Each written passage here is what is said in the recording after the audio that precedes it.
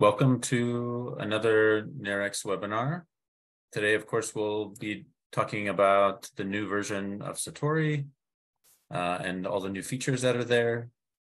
Um, and for those of you who haven't been to a NIRx webinar before, a brief introduction. So NIRx has been innovating FNIR solutions for about 20, 20 years for a wide range of studies uh, run, run by a broad field of researchers.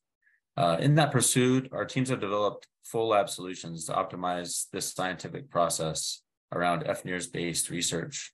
Uh, these include, you know, comprehensive training, support, a lot of easy to use hardware and software, um, and even to the point where we're providing a very powerful, comprehensive, you know, supported commercial FNIRS analysis software, Satori, so today we we look at that uh, in the newest version, and um, you'll all be you know getting a notice today about this release.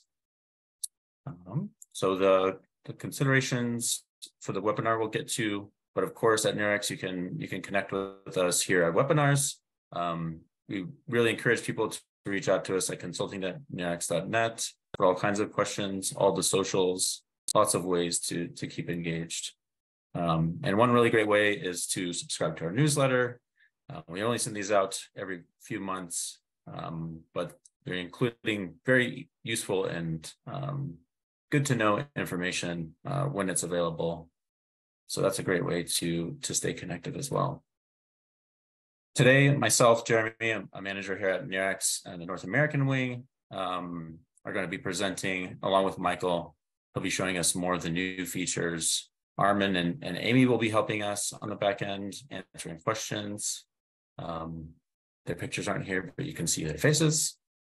Uh, just a couple of considerations for the webinar. Remind, reminding everyone that you're muted, um, but for sure, throughout the presentation, feel free to submit questions in the Zoom chat uh, so that we can collect those and also address those. So at the end, uh, we'll also be, be talking about all the questions that were submitted when you all registered for the webinar. Uh, the recording will be up on our webpage and on YouTube at some point. And of course, again, please feel free to reach out to us via these email addresses with questions about Satori and all sorts of other things. Um, so what we'll, we'll start off with is a brief introduction to Satori, its current version. I'll quickly go through this just to kind of acclimate all of us to um, the software as it currently stands. And then we'll have Michael kind of dive into all of the new features. So let me just switch over to our view of Satori. So what I'd like to actually do is, is drop back for a second um, and talk about you know, the view of Satori and what this graphical user interface sort of looks like. Without any data, we can see there's going to be a couple of different uh, icons for us to jump into different views. Of course, there's like the typical Windows uh, menus for a lot of different functions and features. But if I jump into go ahead and opening um, uh, FNIRS data recording, we can look at a few of uh, the features and the way that the software is sort of laid out. So what we can have here, and one of the main sort of views is all of the channels, the data channels kind of on a 2D head map um, we can look at individual channels by clicking on those, look at the actual time course, um, as well as like the frequency spectrum or even a event related average just by clicking on some of these icons at the top. We can remove those views and include them again by clicking those. We can look at, you know, here the oxygenated hemoglobin concentration estimation. Uh, we can include deoxy there. We can even go back to looking at just the raw data, intensity of light, and a couple of other you know, key points about the recording are down here in the bottom right as well.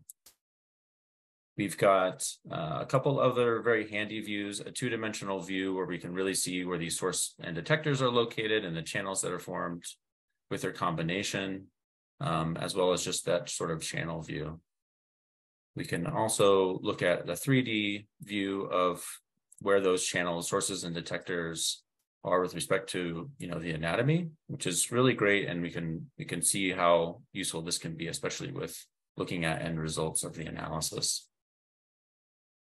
Um, another another good button to click now and then is going to be this log view where we can see a lot of information about what is going on in the background behind sort of a lot of the graphical user interface. Uh, Michael could talk more about this, but for sure that's uh, an enhancement in this new version, Satori 2.0. So I'll go ahead and jump into um, looking more at some of the features for actually running analysis. So if we look at a single, you know, data recording and are going to go through uh, processing the data to some degree, um, we have an FNIRS data pre-processing menu with major categories like rejecting channels, addressing motion artifacts, dealing with physiological noise in general, normalizing and deciding whether or not we want to do this on the raw optical density or concentrations of hemoglobin. By clicking on this advanced button, we can see a lot of the options around these major categories of pre-processing and can control and decide exactly what parameters we want to use um, and then move forward with some analysis. So for now, I'll, I'll just run something very simple on this data to demonstrate so after we run run some analysis steps on uh, the data, we can already look at uh, the changes that occurred in the plots, uh, as well as we see that we've changed the name of the file. So of course, we're not saving over that raw, raw data, um, but saving another SNIRF file um, with some information about what processing steps were already done to it. Um, Another interesting and, and maybe often used feature will be this event manager, where we can see the actual timing of the trials that were included in this recording. So this is a finger tapping data set from our Getting Started guide. Um, and here we can adjust a couple of different things about the color of those just on the graphical user interface. Maybe we want to put more relevant names for the trial types that are here, for example just to keep track of things. We can edit durations and a lot of other aspects of these um, of these events if needed. It's always important to remember to apply all those changes to the data set. So another way we could go about doing processing of the data is to use the workflow manager. So here we can drag and drop new um, aspects or new steps in our data pre-processing and connect those together in a visually um, represented pipeline. And here we can connect those steps with um, these little graphical connections um, and create an entire pipeline uh, for our analysis.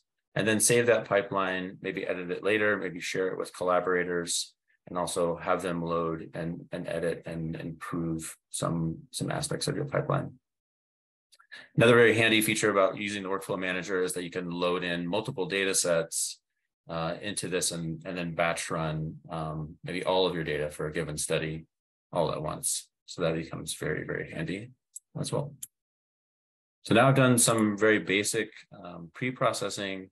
I'll jump into just looking at doing a GLM analysis on um, this singular data set. So here we can first just define exactly what are the statistical contrasts that we might want to, to do. So if, if we look at comparisons between our two conditions here and add that contrast, maybe we also add in one other contrast comparing baseline to, to one of the conditions. Um, we can do this and then we can add things in like uh, our short channels, which I've included in, in this data set. You also have an accelerometer in this data set, so we're able to go ahead and, and add in motion tracking as a confounding predictor. Um, there are a handful of different options around um, what exactly HRF model we want to use, um, potentially other, other options about how we're going to pre-whiten the data, et cetera. Go ahead and run this GLM analysis and we'll take a quick peek at the results. Um, and that's that's sort of the basics of uh, a quick single um, single data set GLM analysis that you could easily run in Satori.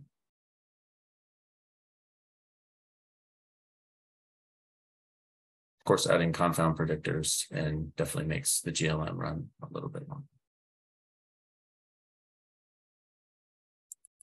So again, like I mentioned, um, my favorite thing to do for sure is looking at these results on, on the 3D head model.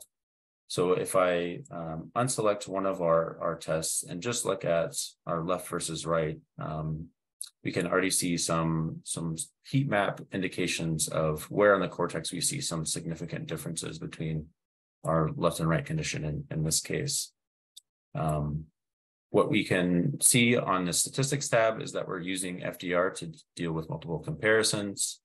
So being a little conservative here, we can also set this threshold manually and explore more about what areas of the cortex might have been a little bit more active, less uh, or more in these different conditions.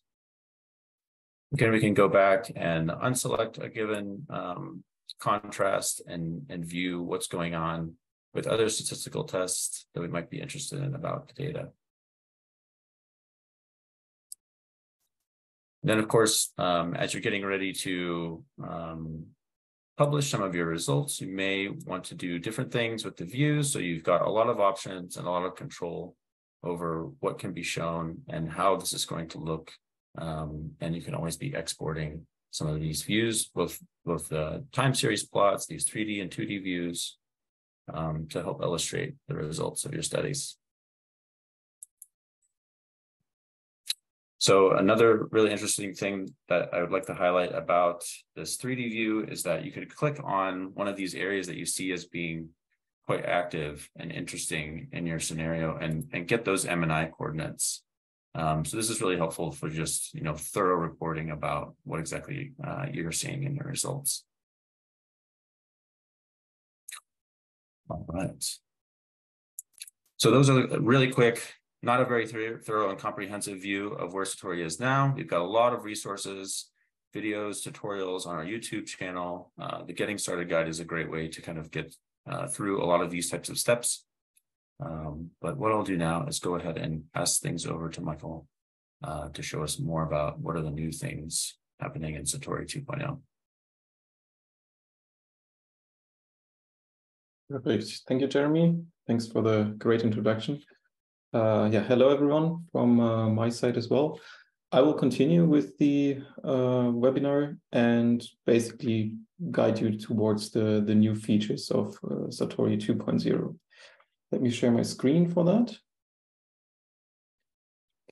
You can see the black screen right now and hopefully Satori 2.0 popping up now. So we've been working hard uh, during the last month and uh, half year to prepare the first major update of uh, Satori. And uh, yeah, as you have experienced from the, the first version, uh, there were already along the way a lot of changes uh, that were going on. Most importantly, you can always find these changes in the release notes. So help show release notes to get a clear overview of features that are added over time. So also later on, the next years to come, you can always go back and check in detail what has changed in these versions. That goes down to the third uh, versioning. So you can always really figure out if there's something. If you have a paper published and there's some information on a bug or if something is coming up with a feature request, which version you need, you can always go back and check in Satori in the release notes yourself, uh, which version was basically used for that. So now we created a new tab. We are at Satori 2.0. And this is one major uh, release, so milestone release, which includes a lot of new features. And one of the main features that we will have in Satori 2.0 is the Python integration. And I know that most of you have uh, heard or even used Python in general. But uh, what does it mean for, for Satori? So Python is, is basically a programming language, uh, and Satori is a user-friendly uh, software that where you don't even need to have programming skills to use it and, and analyze your data. But especially now in the scientific world, um, we have a key aspect, which is open science and reproducibility. And Python is one of the key elements in this, in this move. So Satori should also be part of this general feature to be able to program specific um, key features software yourself within Satori and make use of this very easily. So this is one of the milestones that we will uh, basically push forward in Satori 2.0. And this will allow you the first time to extend Satori yourself with your own source code and with your own features. Now in Satori, you can see that there's now this Python button here in the top, and it shows you a menu uh, of scripts. Satori will come with some predefined example scripts for the first uh, 2.0 release. And uh, next to it, you can, of course, extend the scripts yourself. To be able to learn how to do this, we integrated also a help and have these help menus now more integrated into the whole software package. Important for you to know is that we will support specific um, Python code ourselves from every update of Satori.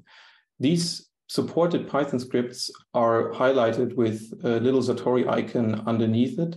And they are also shown in every description that you can see, is this a verified Python script from Satori, or is this a user-defined Python script? So if you, for example, go into the scripts here and see, you will see in the bottom left that it says this is a verified Satori script. For other scripts, it says that it's not verified. So all of these scripts will work in the future versions of Satori. So if you rely on specific uh, features that you want to use over time and you don't want to take care of, of the maintenance, you can assure that these uh, tools that we provide will be updated. And this also includes the backend of Satori. So Satori is coming with the whole Python package included and uh, installed. So we will take care that all these scripts are working with new Python versions that we embed with Satori. So for you, you will get all the details if you have written your own scripts, what has changed over time so that you can accommodate.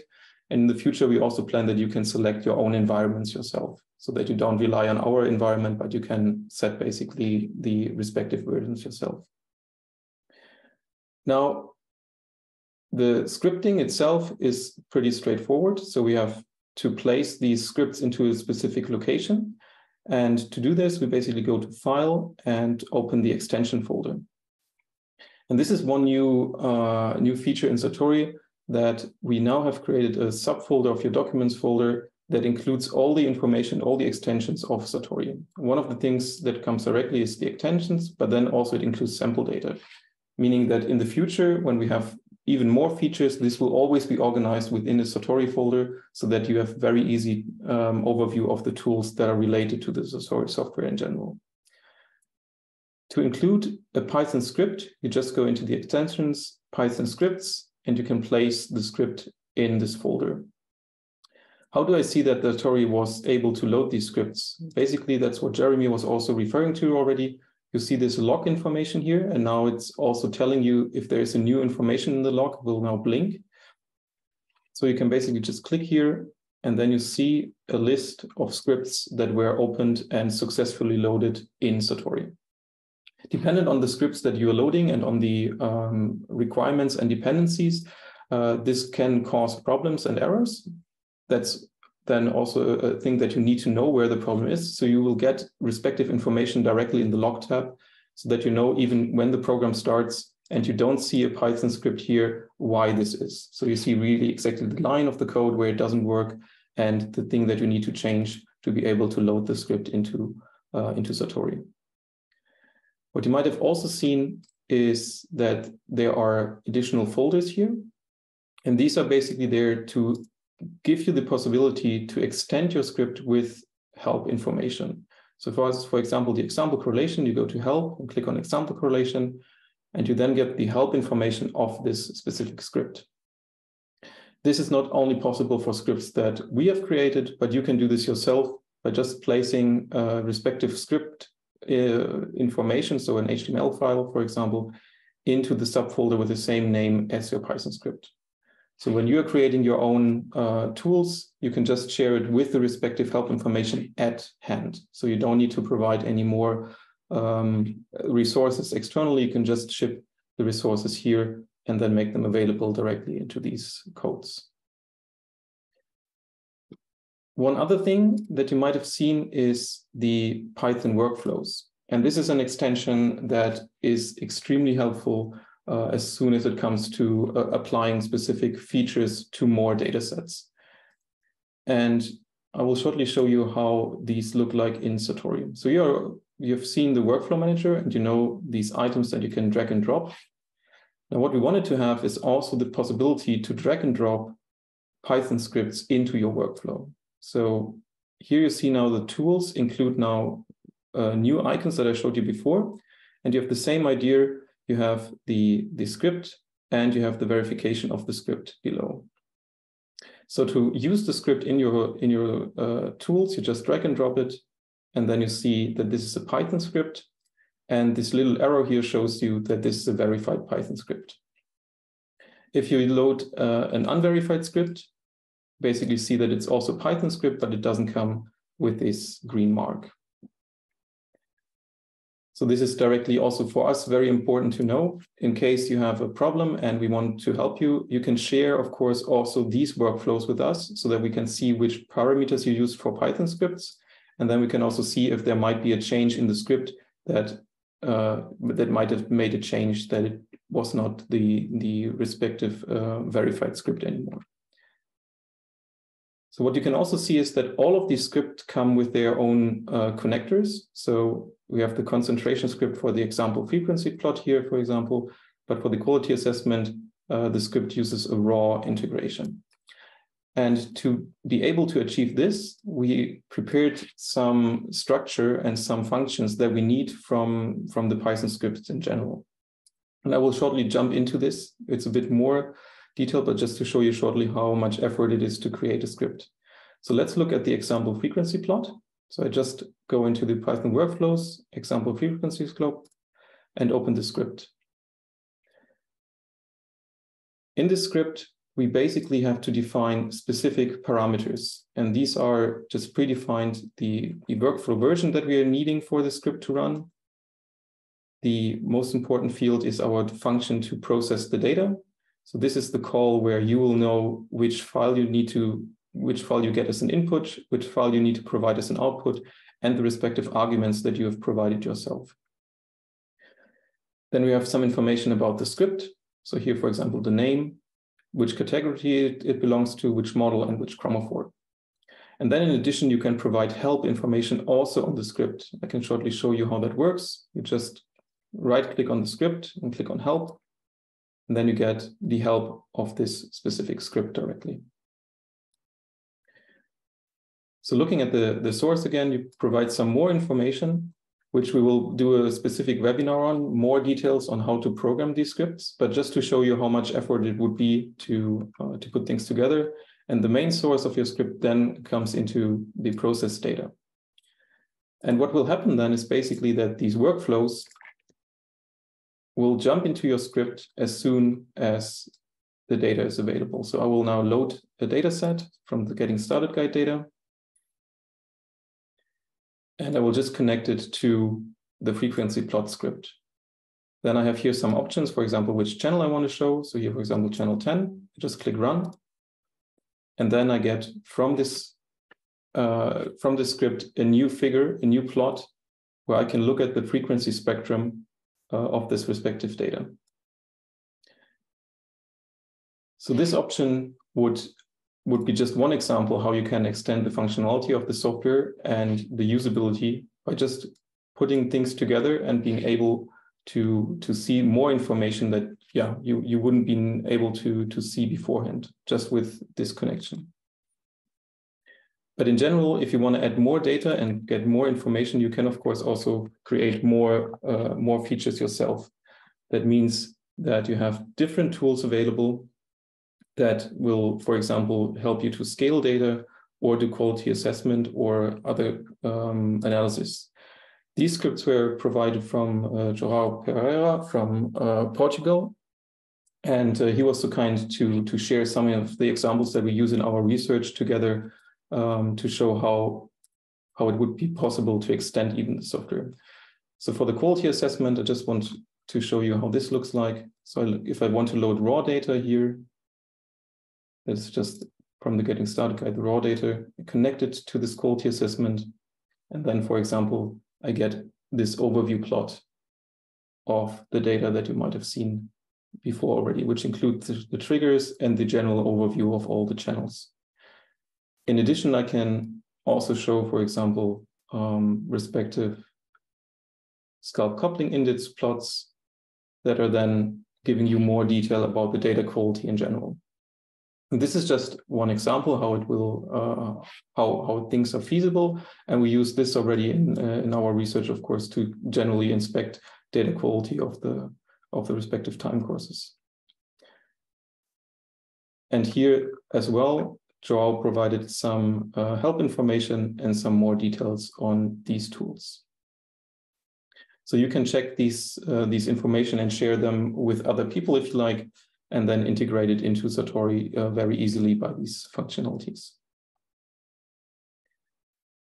Hey, looking at Python scripts, we have the, the same idea that Python in general can be called from, uh, from Satori.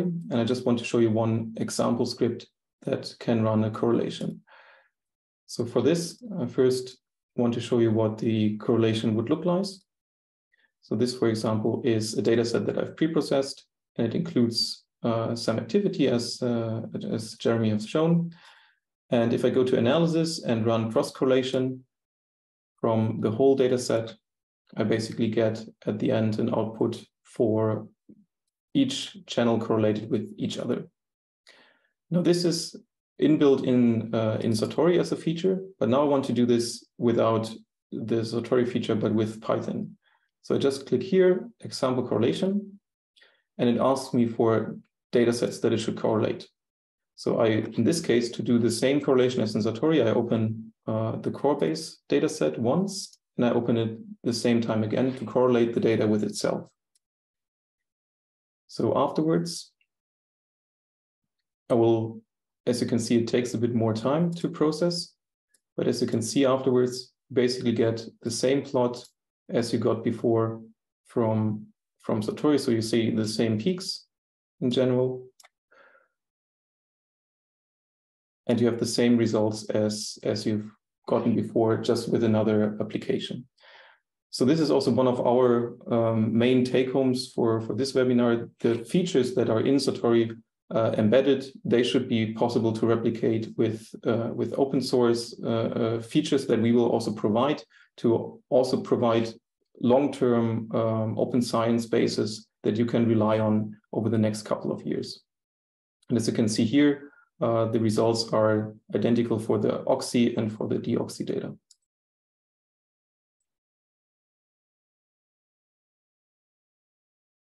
So next to uh, to these uh, improvements within uh, within Python, I just want to go through some of the additional features that we uh, that we have implemented now for Satori that are more handy to look at the data, and we're especially preparing for more features towards hyperscanning.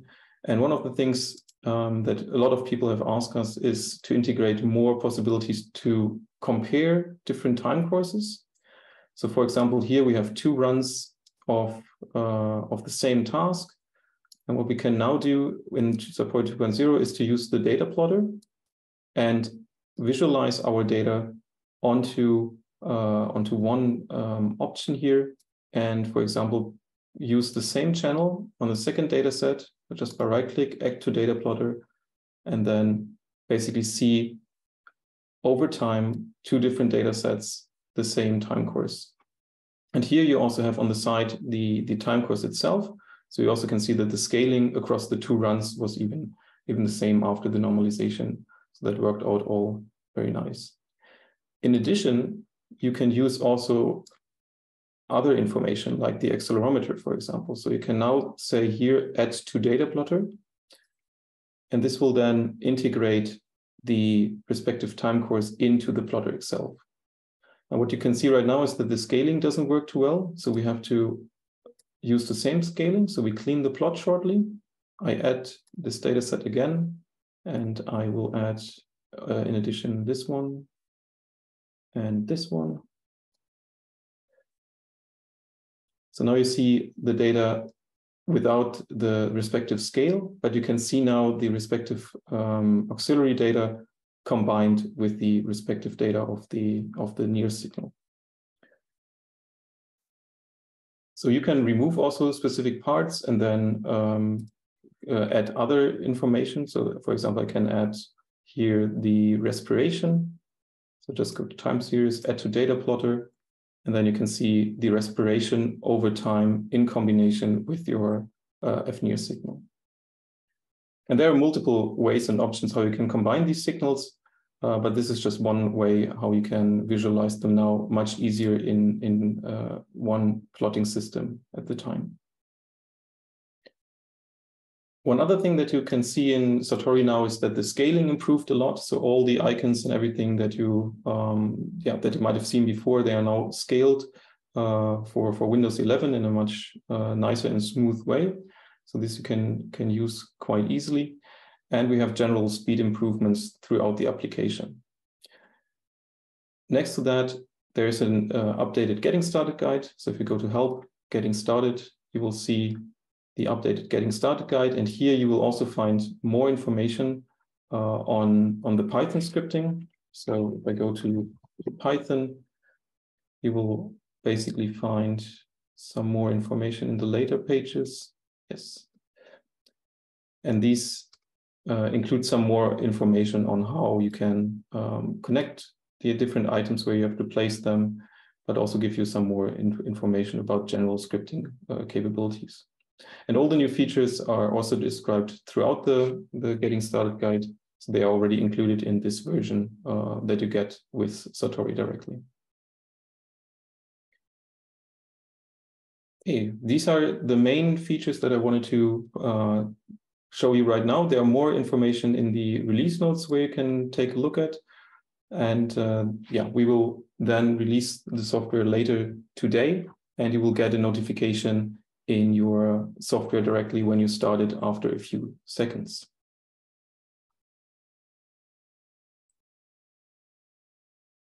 Jeremy. so much. Michael. Yeah, perfect.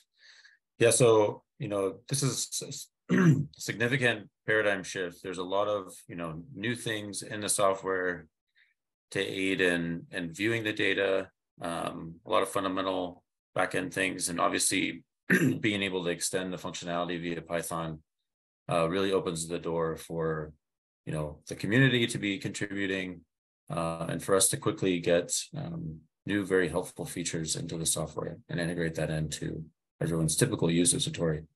So a significant change um, that will really accelerate how Satori evolves uh, in the coming in the coming year even.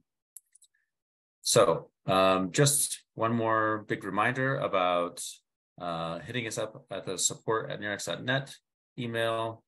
Um, and even though we've we've got a lot of this documentation and, and Michael showed a lot of the ways that you're able to access the getting started guide and, and the user guide, um, there's lots of videos and we're always happy to help answer more detailed questions, um, including right now. So there's a couple of videos here. I don't think that we'll play those. Um, but thank you guys all for your attention.